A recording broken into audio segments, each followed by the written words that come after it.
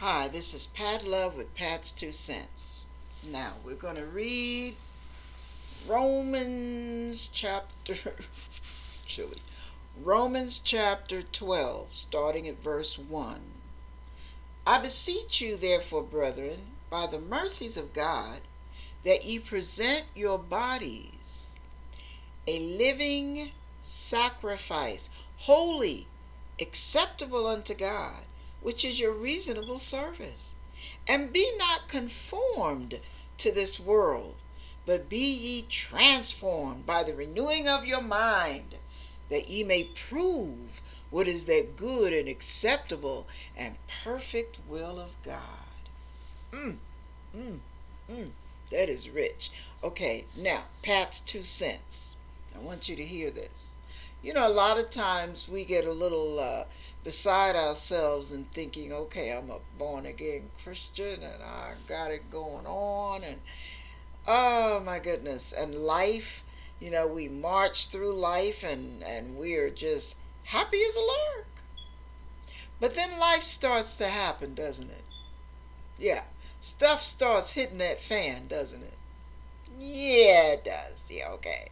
And life starts presenting little minor annoyances and inconveniences and loop uh, just all kind of traps and pit holes and all of that. Well what god is trying to share with us is when we are going through whatever we go through in this life when we present our bodies lord this is yours a living sacrifice listen to this this is Pat's two cents now. A living sacrifice. In the old days, they would come and, you know, they bring their best and they put it before the Lord and offer it up to God and all of that. And they would burn it on the fire. Well, us presenting our bodies a living sacrifice means we are to burn this crap up on the altar. Burn your flesh kill your flesh. Huh? In other words, when my flesh rears up in me because you got on my nerves, and Mama Sita's mind says, cuss them out. I got five four letter, four letter, and five letter words just for them. Your the spirit man, the God in you, will say no. I burn that desire. I extinguished, I get rid of it. No, I will handle this God's way, even if it kills my heart to do so. You have to obey many times until it hurts. Have you ever been humiliated by someone. I'm making examples just so you can get what I mean.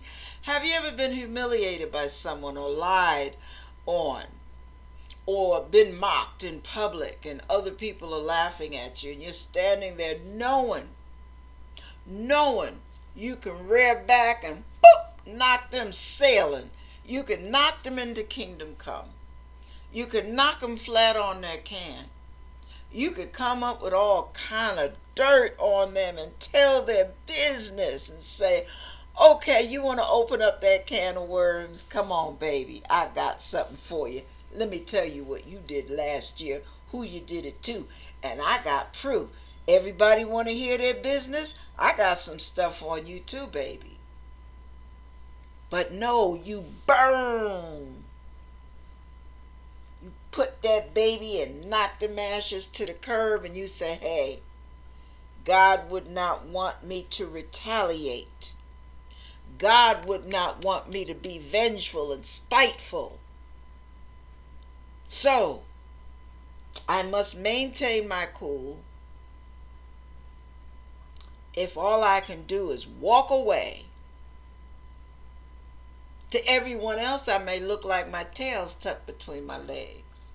But to God, I'm walking away victorious, triumphant, because I handled myself. And I gave all my rights and sacrificed my rights to God.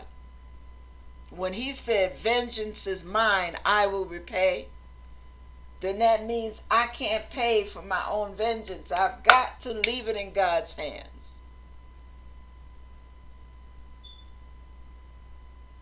And when I'm leaving my rights and my my ways, my fleshly ways, the old man that knows how to cuss somebody out up one one end down the other, who knows how to kick somebody's tail, who knows how to make somebody look smaller than a roach with my tongue.